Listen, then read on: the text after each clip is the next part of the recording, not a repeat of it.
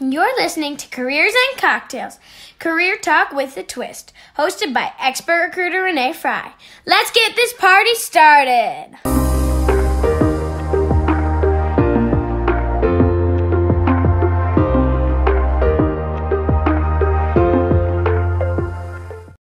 Hey, party people, welcome to Careers and Cocktails. Today, I'm thrilled to have someone I've known forever the one and only Carmen Croonquist. Welcome.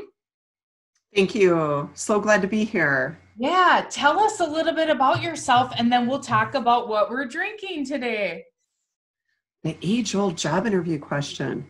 Um, I, I, guess a little bit about me. Um, I have a business called Intentionality Coaching and Consulting. So, what I do is I really focus on helping people create a career in life that they love um, by helping them become very intentional in regards to what they do, what they want, and you know, really helping them line up the tools to manifest where they're going more quickly.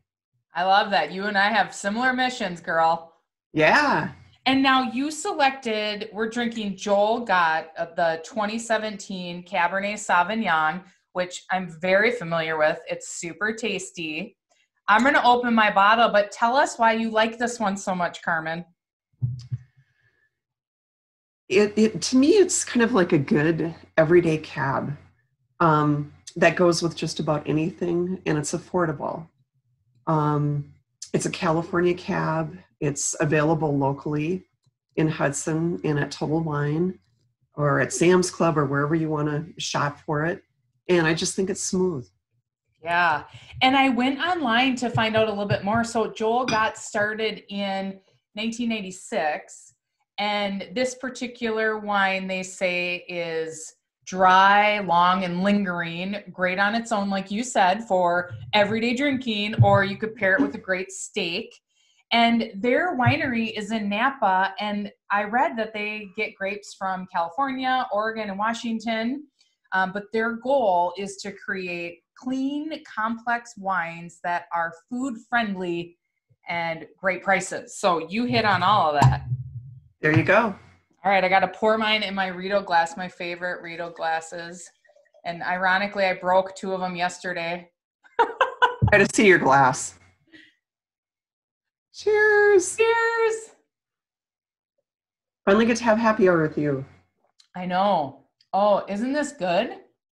Mm-hmm. I love dry wine, and this like pops on your mouth. Mm. It does. Yum. So, what are we celebrating today, Carmen? We are celebrating the first snowfall of the year and um, pushing through the mindset of ick, ick. I don't want to get out and go walking in that to I'm going to go walking in that and capture the beauty of it and share it and enjoy it and embrace it. So that's what we're celebrating. It's October 21st, and um, it's beautiful. Cheers to six inches of snow out of the blue. Exactly. I love it. It's funny. Normally I'm really grumpy about it. And this time I'm like, it doesn't bother me. I'm like, oh my gosh, I wasn't prepared though to pull out my snow boots and my snow jacket. But I walked out to the car yesterday to go home and I was like, oh, I don't even have a scraper in there. I know, I know. I, w- I was lucky that I still had one stuck in, in my car because I was in a lot of meetings yesterday. Um, and I had that first dread of it all coming down. And then it's, you know what, we got all of our winterizing stuff done last weekend. And we actually had such a beautiful summer and spring. I don't feel like I was deprived of anything. I enjoyed every right. bit of it. Right. And you have the best mindset. Like you totally changed your mindset to think of the positivity in the snow. I love that, Carmen. Mm-hmm. Thank you. Your career has entailed helping people find their career and life purpose. What are some strategies to help people get unstuck and take those next steps? I think, you know, for for so many people, they find the whole idea overwhelming of changing careers, of being objective about themselves enough to really take stock of what they're passionate about and sometimes it's a lack of limitation mentality. I'm too old. I don't have enough experience to jump into this career field that I want to really try. Um, so, my whole thing is to start with first, just clearing crap out so that you can get clear. Too often, people try to find clarity when there's just too much clutter. And we're talking about physical and emotional clutter. So, one of the first strategies that tools that I encourage is clear your crap out, get organized. You know, so you're not bogged down by things that you don't love or want or need. Because the process of doing that helps you get in touch with things that you love and things that inspire you. Um, so tell next, me, like, I need to go and clean my whole house of clutter, or what are we talking about here when you say clean the crap out? I would say clean out the physical clutter and clean out the mental clutter, emotional clutter. How do we clean what, out a mental, emotional, emotional clutter? Is to be aware of what are the repeating thoughts that you find yourself constantly thinking when you think about a career change. Um, are you excited about it? Do you dread it? Um, do you have tapes playing in your head that I'm not enough in order to do that thing that I want to try that's really big and really scary? Um, I've made mistakes. I've failed. I've I've screwed up in the past. So I'm stuck with shame and guilt and I can't do something else. So those are things that you know too often we linger and not just learn the lesson and the gift and move forward. And the present moment is so powerful. Too often people are stuck living in the past or they're worrying about the future. And what you really have right now is the present moment. So, getting people back to feeling calm and expansive about the whole notion of a career change before they launch into it. And that makes everything else flow more quickly and smoothly. And also letting curiosity lead. Okay, I don't know what I want. What are you curious about? What's what's a brick that you can move toward curiosity about the thing that you think might be fun. And instead of that question, what do you want to do when you grow up, or what do you want to be next? It's what do you think would be fun to try next?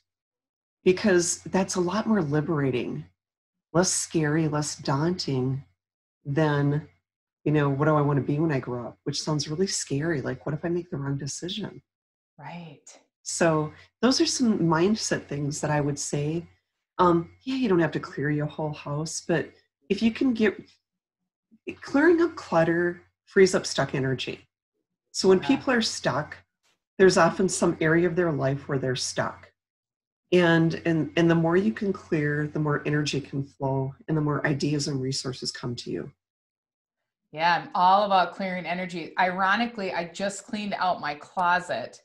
I think it was two weeks ago. And oh my gosh, what a change. I have I have shelves that have nothing on them. I have space to bring more stuff into, and I got rid of so much stuff, but it was awesome. Like to do that, I just feel lighter now when I go in there. I feel it's easier to pick out my clothes for the day, which sounds really simple, but it really did make me feel 10 times better, even though it took me like one whole Sunday afternoon and it was exhausting. I was sweating bullets. and what was the part that was the hardest for you?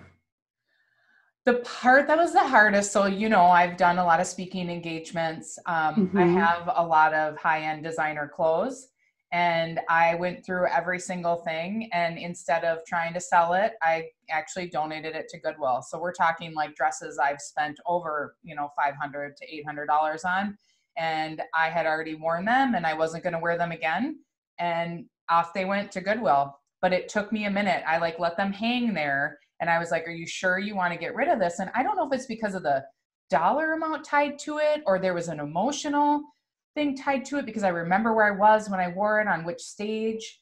And so that whole combination, that that whole experience made me then just say it's time to let go. And it's okay. There's new dresses to buy. There's new stages to speak on. Right and does it make you look like a 10? Because if it doesn't, there's no reason to keep it. Right. And it's funny because I I have purchased things, you know, four years ago that I still have. Some of them I keep and some of them I'm like, no, I wouldn't wear that again because mm-hmm. style has changed and I've changed. So, Carmen, what are some key habits that help individuals maintain happiness when we feel like our careers and lives have been turned upside down by the events of COVID in the past year? That that's that's that's the million dollar question. Um, I think first of all, it is the ability to embrace uncertainty. Um, I think so many of us want to control. We want to feel like we're in control of our lives, like the weather. You know, the surprise yesterday. Here we have the snow and all that. Um, suddenly we have COVID. My husband owns a restaurant. Um, so all this stuff is very, very real for us in our lives this the past few months. Um, but there's always a lesson and a gift. And just knowing that no matter what, the universe always has our back. Um, what is this on a grander scale forcing us to reckon with? Um, what is it forcing us to learn um, as individuals, but also as as a society? And I always think it's an opportunity to make ourselves better um, and to improve our communities. Yeah. So ways to embrace uncertainty, ways to look at this, you know, past whole year would be to think about how have you been able to get back to the simple pleasures in life with your family, with nature? Um, what are some different practices that you can put in place to find peace? Um, I like Abraham Hicks um, emotional scale. There's 22 emotions that they list on the emotional scale. And the bottom is like hopelessness and despair. And we have to feel all of those emotions. We're human beings. And, but how can we, like brick by brick, get up to a higher vibration of emotion? Because once you get to that level of contentment, is where you're able to start deliberately manifesting. Um, below that, you're manifesting things in your life by default. So even in a pandemic, even in a time when things seem so uncertain, um, it, it, it enable it forces us to get back to our spiritual center and find ways to find peace. Yeah, absolutely. And you talk about the simpler things. I have never been more grateful for the house that we live in, my little family, my husband, my children, the ability to continue to work. My husband and I have both been able to continue to work. Our kids are, you know, been able to still do their dance and swim and go to school, which uh, it is those little things that we're grateful for. And, you know, at the beginning, I remember feeling scared just because it was the unknown. But now, and you know me, I'm an ultimate optimist. So I've been like thinking of the positive side, right? Um, mm-hmm. How can individuals embrace uncertainty when we, you know, we might be scared or something? I always like that parable that was you see in a lot of books that pop up about that farmer who um you know he has the horse and okay i'm going to screw this up so we can edit delete that one out. I'm going to backtrack. Okay. Um embracing uncertainty is realizing that we live in a maybe world. We we grasp to be certain about everything in our lives when in fact when you live in in in a, a spirit of embracing uncertainty it's a very powerful way to live. Then you don't feel like you have to control other people or outcomes or events you can find the simple pleasures and joy in everyday experiences. Um, we live in a maybe world because we're always hearing different things about oh the experts say this is healthy or this is not. We're we're being bombarded by politics right now and fear. And so how can we get back to a sense of hope and um, you know yes there's uncertainty but i'm just going to let my curiosity go what am i what am i learning um, what's my next step in moving forward um, how can I get away from being a know it all? Because I think that's where we, we want such certainty that sometimes we get in our own platforms of, I know it all. And it gets us out of the space of being learners. And I think this year 2020. It will go down as one of my favorite years ever. Not for a lot of other people, but for me, this has been amazing in so many ways. Um, it's forced me to become more of a learner and to really take stock. Um, and embracing uncertainty is that you really trust that the universe has your back Yeah. no matter what. And maybe something will turn out for us, maybe it won't. But it, but you know, shoring us up for feeling like we're braced for failure is never a good thing either. So it's just being curious and optimistic and seeing possibilities and seeing connections and having good practices that bring you back to center, like breathing. People forget to breathe when they're stressed. Um, we have a tendency to really get into that kind of constricted breath, and it gets us into the fight, flight, freeze mode instead of flow. And so, just remembering to breathe and trust, and answers will come to us. Getting into a meditative, you know, practice, a practice of meditation. Um, finding ways to get out and move and enjoy nature every day. There's so many things that we can do um, to embrace the uncertainty and still find ways to thrive. Absolutely. Yes to all of those. And cheers to 2020 20 being one of your best years, Carmen. That's phenomenal. Thank you. Okay, we got a lot to go back to. Do you, when I think of curiosity and how you described what you just described, it kind of reminds me that it makes me think we need to be more childlike at times to explore those curiosities. Would you agree? Like, is that a place to start where, you know, we're all programmed to be adults and we have so many responsibilities? But I feel like to me, when when you said that, I thought, gosh, I should be more childlike to explore. You know what I mean? I, I would agree. I think that's a great analogy because, you know, when you think about it, our programming happens from birth to about age seven. Yeah. So that's an important part of our subconscious latching onto things before we have discernment. Um, so children take everything in like a sieve out of curiosity. They're learning, they're using all of their senses to enjoy and explore life. And they also find the humor and the fun and the play every day. And I think too often we get into that, just as you described. Hey, my to do list is this long, and I've got such and such and such, and not enough time. And, and we don't work fun and laughter and play into our day or curiosity because we get into the, hey, I know it all, so I'm going to judge everything in everyone mode instead of, huh, you know, I wonder what that person might be thinking or needing right now.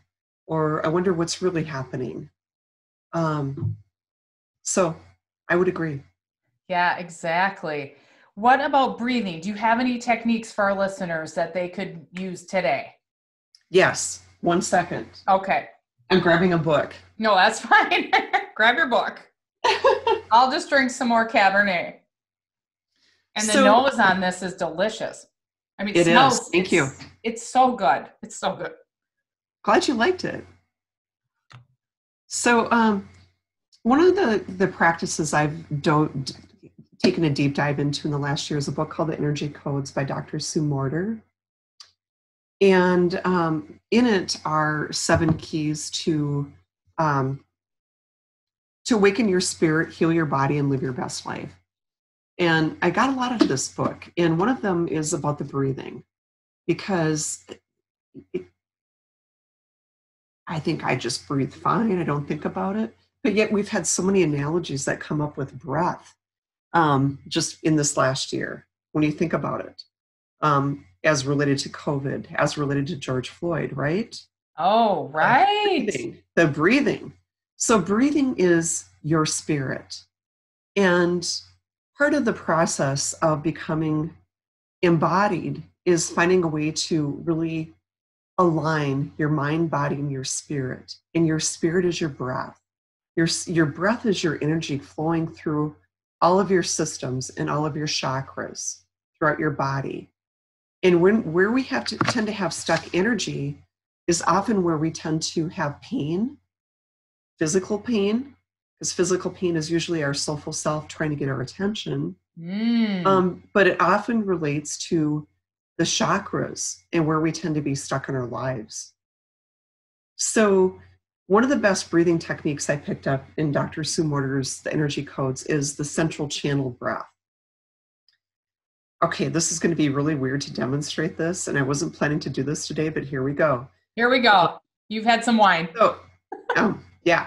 So, there are four anchor points that I want to just start with. And what you're going to do is squeeze those anchor points. And the first one is your pelvic bowl. So, this would be squeezing at your pelvic bowl, which is kind of at the base of your chakra system. The next one is going to be squeezing right behind your rib cage, right here, as though you were doing a bench press. So, you're squeezing those muscle, muscles right there. The third one is going to be right by your throat. You're going to constrict your throat, just kind of like Darth Vader. You're going to do the breath kind of like, you know, like Darth, Darth Vader there, Yep. right behind your throat. I The was third one wondering. is- I'm like, I don't know how to do that. I got the other ones, but the throat. Okay, I got it. So it would be put your tongue in the back of your throat and constrict your breathing there. Got it. The fourth one is behind the eyes. So this would be lining up with your pineal gland and your, your third eye. And it would be squeezing behind the eyes. So what you do is you're running a, sh- a central channel breath all the way up and all the way down through your entire channel. So your entire what you're doing is you're clearing your entire channel and as you do that, you're able to breathe into the areas where you feel stuck. So, am I contracting everything at the same time, or am I going like a flow, like pelvic floor contract as I breathe? I need So step as- by step. As you're first learning it, the whole idea of contracting all four anchor points at the same time might feel a bit daunting. So, what I would first do is bring that breath up, squeeze that first anchor point, which, which is at your base. The second one, tightening up behind your rib cage there. And then the third one, you know, coming up behind your throat. And then the fourth one is squeezing behind your eyes. And then, you know, bringing that breath up. So it's almost like it's shooting out of the top of your head like a blowhole, like a whale. And then you're bringing it back down through your central channel and So my- shooting it out I of your bottom of your feet. Am I inhaling through my nose and exhaling with my mouth? Good. You're asking really good. Okay. hey, I need to know. I'm Yes. I'm like a perfectionist, you know. I gotta if I'm gonna go in, I'm all in. All right. So so breathing in through your nose and then exhaling through your mouth. But you're also as you're imaging this, you're you're imagining it come out the top of your head like a like a blowhole and then coming through all the way through and coming out the bottoms of your feet. Got it. And how many times should we do this, Carmen? I would do 6 times. Oh, six times in a row. Yes. Okay. Okay. Love it. Taking time to really breathe. And it will immediately calm you down at a time that you need to be talked off a shelf or you're getting into a great upset. Um, because too often we don't pay attention to our body signals. And the problem is often when we're stressed out, it hijacks our brain before we're able to think. So, this is getting you to be more aware of where are you feeling triggered in your body when you're feeling stressed out or uncertain or scared, fearful, anxious, whatever that might be. You know, where is that showing up in your body? What is that sensation like? And really breathing through that, into that, and squeezing it and integrating that energy. And that will very quickly bring you back to a state of calm. Yeah, absolutely. Breath is always where it's at, Carmen. I mean, there's been times where, you know, I'm super type A, so I get wound tight. Like I've got this much going on. I have this and I'm go, go, go, go. And all of a sudden I feel like my heart is like palpitating. My watch is telling me just breathe. And so then I just sit down for a minute and do some breathing. And then it's like everything just gets a little bit more calm. my mm-hmm. brain slows down and I can get more accomplished by just breathing. Well, and, and exactly. you know, you, because what happens when you're in fight, flight, freeze mode, your blood drains to your lower extremities, and it's not circulating in your brain, enable you, enabling you to problem solve mm-hmm. and to find solutions and to be connected. We tend to slip into that protection mode. Uh, and this would be another tenant from Dr. Sue Morter is that protective personality. That's when we become defensive, we protect and we shield. And we really restrict our ability to learn and move things more quick through move through things more quickly in life, which often traps us in our careers. Right. So connect. Everything's all connected. I love it. So you've talked about a lot of gifts, 2020 being a great year. What was a lesson of a gift you experienced during when we had a shelter in place earlier this year? Oh, you know, um, so many things. Um, I'm not sure if you know, but um, I got married two years ago. yeah, I do. Congratulations. You look Thank so you. happy. I am. And uh, so for the first time, here I am, a step parent. And my stepdaughter, who was at Arizona State, right after spring break, everything shut down. And went online, and she came home early. And her mother wouldn't let her stay. Her mother was so afraid of COVID.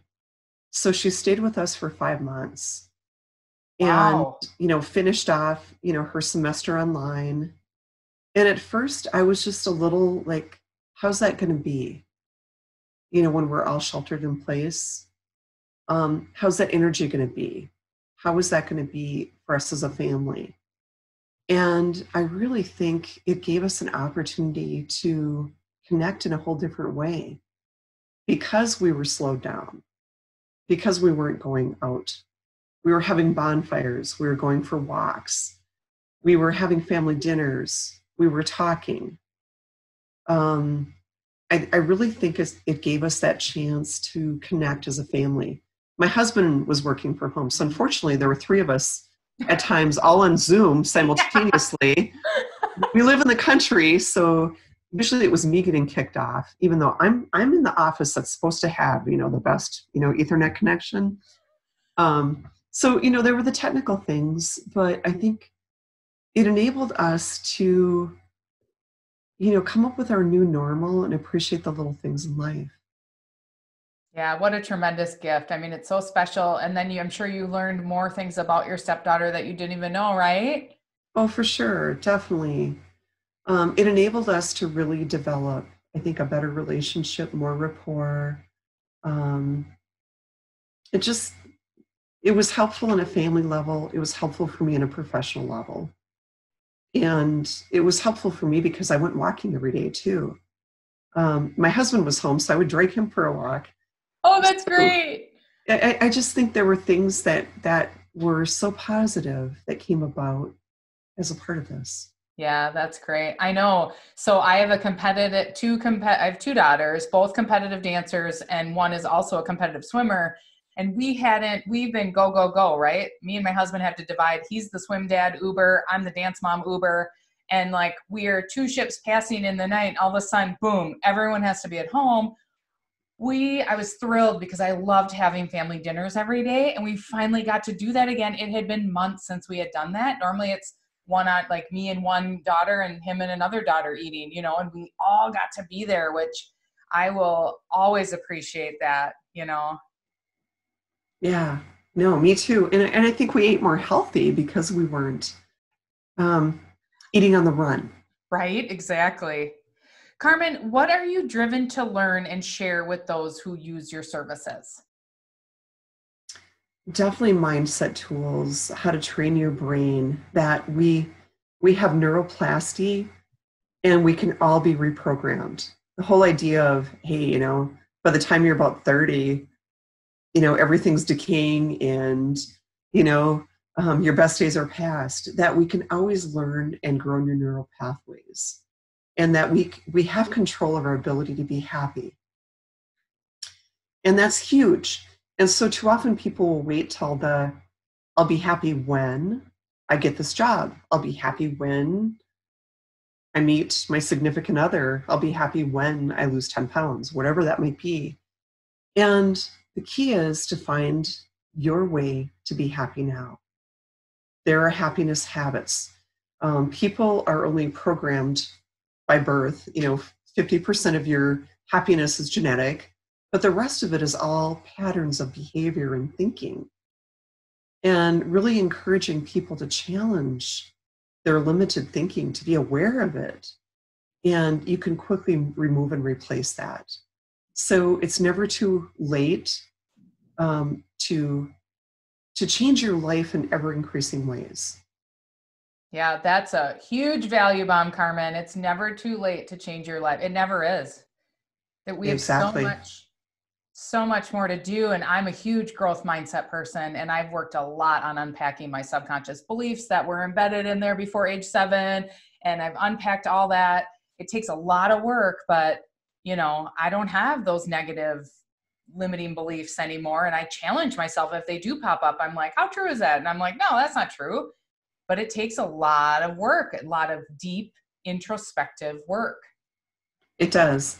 And, and it takes the ability to be a little bit of a neutral observer of yourself. So you have a thought coming in, you're like, oh, that's interesting. Rather than right away, you know, buying into that thought and having your emotional reaction then drive you into a whole course of, you know, physical action that may or may not be good. It's kind of being a neutral observer. How often am I thinking catastrophically versus positively? How, how often am I talking about what I don't want versus what I do want? That's huge. Um, I see it all the time in the work I do where people talk and put all this energy out into blame and shame and things that they don't want versus putting the energy back on what they do want instead. So um, it's it's really taking ownership that we all have control. We have free will. That's one of the laws of the universe that cannot be broken whatsoever. About every other law of the universe has the ability to be bent. That one does not. Um, we all have free will, and that is the free will over our minds, and in turn, our emotional state. It's up to us. And what we do impacts everyone around us. It impacts not just our families, but our communities in our world. Yeah, and we have the power within, which is super powerful. I love that. I love the natural observer. That is like or neutral observer. Yes. That is a great to but how did so how does one do that? Become a neutral observer when thoughts do trigger emotions, Carmen? So we tend to default to judgment mode. And that's a practice that we've learned usually from age, you know, zero to age seven, because we're being judged initially, then we turn it on ourselves and start judging ourselves. And then we often deflect it by judging other people. So being the neutral observer is looking at am I in a learner mindset right now, or am I in a judger mindset? And accepting that judger is often our default. And judger is where the who's to blame, what's going, you know. Um, oh, why, why is that person so frustrating? Yep. Yeah um, or we blame ourselves like god i can never get it right or i'm just not good enough or i'm not enough or whatever. We do that to ourselves and we do that to other people. So it's catching that and just the first question is am i in a judger mindset right now? How can i think differently about myself or that other person or that situation? That flips you into a learner mode and the learner mode is more what's really happening here, taking stock. Because sometimes we get into the whole disaster scenario. So, what's really happening here? Um, what's my part in it? Um, what might that other person that I'm dealing with be wanting or needing right now from me? It gets you out of your own head. Um, how can things be win win? Um, what can I learn from this situation? What's the next thing that I should do? Breaking it down to like a, a now step. What's the next little action step that I can do? Versus too often we we see so much ahead of us in trying to make change instead of what's the next step? And so learner mindset is more challenging assumptions what, in getting the facts. Um, I'm assuming this, this is the story I'm making up in my head, um, which may or may not be true. What are the facts? How do I check that out? How can I give a generous assumption to that other person? How can I give a generous assumption to myself right now? And um, shifting into a learner mode. And that's getting back to what we talked about earlier, which is curiosity. Yeah. Always being curious. yeah. Always being curious about other people. Always being curious, you know, about your whatever is happening in your life, be it personal or professional, approaching it with a learner mindset. Yeah, we're coming full circle, Carmen. I love it. We're going right back to the beginning. I love it. Curiosity. Gosh, that learner mindset is so tremendous. And you dropped so many value bombs. I'm so thrilled. Now, tell us about your local networking group. You've got a local networking group in Hudson, which you've had for years, right? Yes. Um, I'm better at kind of showing up and doing than I'm at marketing and promoting. So thank you. um, but I've been part, you know, a collaborator with Sonia Hall, one of my dear friends, um, to coordinate the St. Croix Valley Networking Group for, I think we've been around for about 12 years now. Oh, Started with 12 years. Terry Morton. Wow. It's been around for a long time. And and what, what what's different about this versus some other networking groups is that um, it's casual. You can have you can have all the coaches you want. You can you, you're not limited to a gee. I, only one insurance representative can be a part of this, or um, It's not a BNI One- group. exactly. Um, and not to beg on BNI group because they're incredibly valuable. So this just a little bit more in just a little bit more casual in that everyone is welcome. Our our goal is to build community by doing this. And um, so when you show up, it's just casual networking. We provide the appetizers and we do introductions around 6.15 or 6.30 and um, everyone goes around does their elevator pitch. If you have an ask or a need you put it out there or a promotion or something that you're running you know you put it out there. And after that we go back to just casual networking. Who so doesn't like free appetizers? exactly. And you can credit my husband for that with ziggy's. Oh, awesome. So when is this meeting happening for the same so it is the second thursday of every month from 5.30 to 7.30 and we are doing it in person. Um, we took some time off with the shelter in place.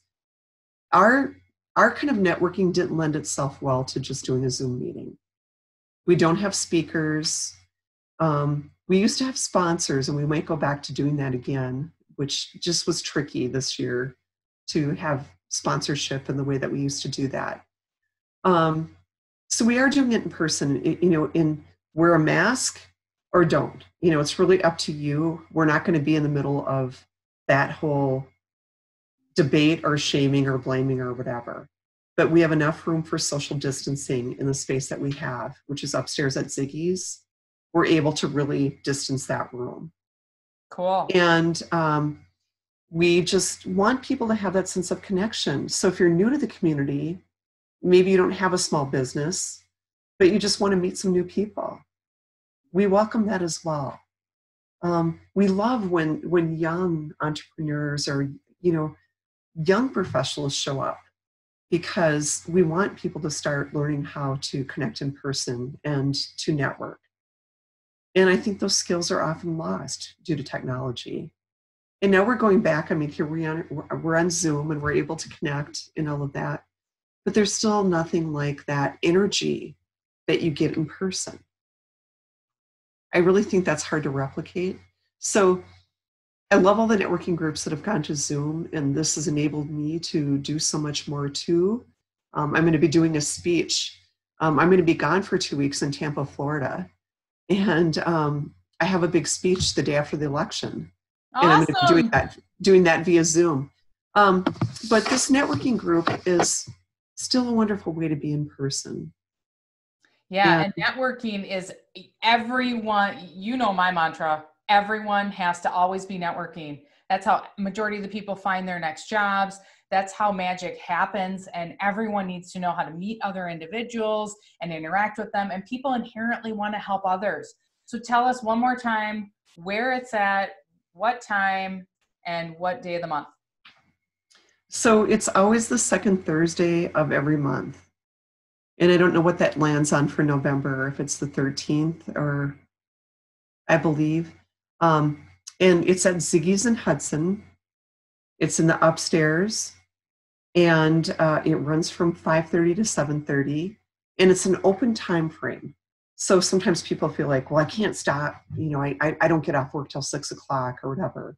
We just welcome people to come in whenever. It's an open time frame and we do, the only thing that's formal is that we do the introductions usually around 6.15 6.30 and then after that we just revert back to casual networking people that want to stay we usually have live music on Thursday nights, so sometimes people stay and network a little bit longer. Um, but the whole intention is to make people feel comfortable, welcome, um, to have a place at the table, and um, to connect. Yeah. Cheers to that. 12 years of that and open to everyone and creating a sense of community. I love that, Carmen.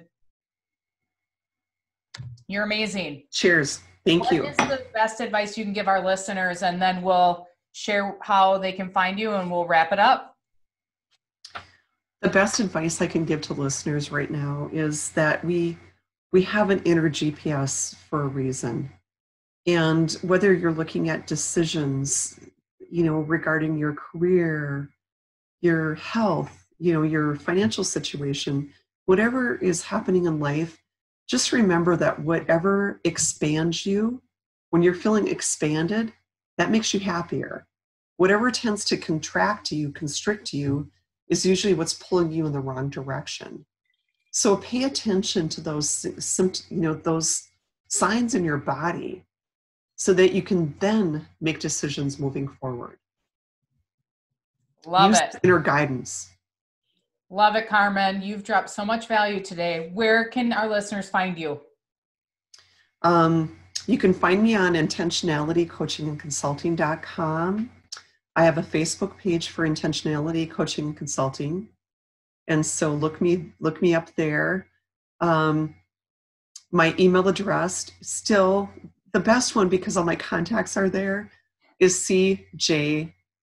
C is in Carmen, J is in Jean, Croonquist, C R O O N Q U I S T, at yahoo.com.